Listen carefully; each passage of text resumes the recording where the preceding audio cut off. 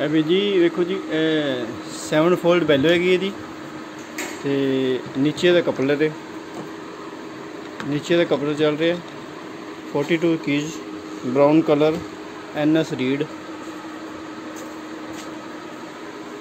ਬਹੁਤ fine quality ਹੈਗੀ ਜੀ। ਦੇਖੋ ਸਾਰੇ।